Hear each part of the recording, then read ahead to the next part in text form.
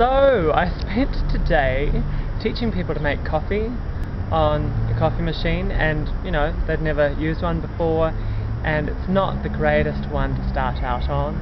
Um, yep.